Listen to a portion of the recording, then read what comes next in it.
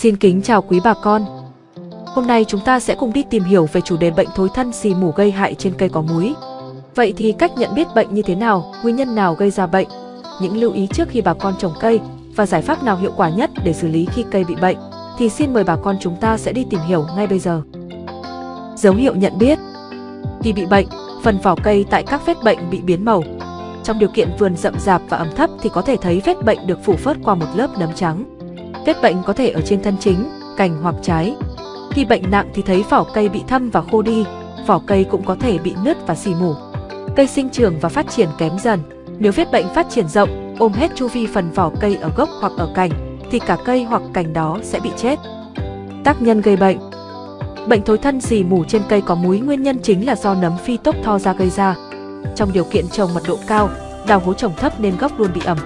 Bón phân thừa đạm, cây quá xanh tốt, xung xuê, cảnh thấp chạm đất, hệ thống thoát nước kém thì dẫn đến tỷ lệ bị bệnh của vườn sẽ cao và nặng. Lưu ý, trồng cây với mật độ thích hợp tùy giống. Làm luống theo hướng đông tây để mỗi cây có thể nhận được ánh nắng suốt ngày. Không đào hố để trồng, mà nên trồng trên luống, đắp cao gốc để đảm bảo gốc dễ được khô ráo sau mưa hay tưới. Không tưới nước trực tiếp vào thân cây bằng hệ thống tưới nhỏ giọt, chỉ tưới nước vùng đất quanh tán cây để giữ cho gốc cây luôn được khô ráo. Cắt những cành bị quét trên mặt đất, tỉa những cành sâu bệnh trong mùa mưa để vườn được thông thoáng. Bón phân hữu cơ hoai mục. Kiểm tra vườn cây thường xuyên để phát hiện cây bị bệnh nhằm cứu chữa kịp thời. Giải pháp xử lý khi cây bị thối thân xỉ mủ. Đối với giải pháp xử lý bệnh thối thân, xì mù trên cây có múi, thì bà con chúng ta có thể tìm hiểu qua rất nhiều kênh thông tin trong thị trường. Và trong video ngày hôm nay, tôi sẽ chia sẻ cùng một giải pháp sinh học bằng cách ứng dụng bộ đôi sản phẩm, đó là TKS Pseudomonas và sản phẩm TKS vôi sữa. Và cách xử lý như sau. Đầu tiên bà con chúng ta sẽ quan sát và phát hiện vùng thân cây hoặc cành cây đang bị bệnh. Sau đó bà con chúng ta sẽ cạo bỏ phần vỏ bị bệnh. Tiếp đến bà con chúng ta sẽ pha sản phẩm TKSB Pseudomonas và sản phẩm TKS vôi sữa với tỷ lệ 2, 1. Sau đó bà con quét trực tiếp lên vùng thân bị bệnh mà trước đó bà con đã cạo bỏ phần vỏ. Bà con sử dụng định kỳ từ 2 đến 4 lần, mỗi lần cách nhau 5 đến 7 ngày sẽ thấy hiệu quả.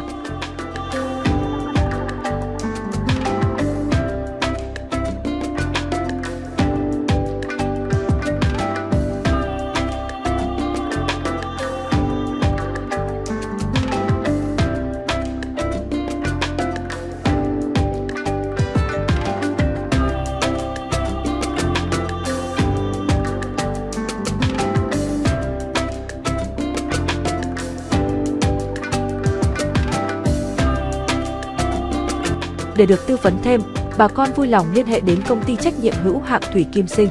Hotline 028 6275 2960, Zalo 0963 970 770 hoặc truy cập vào website thuykimsinh.com.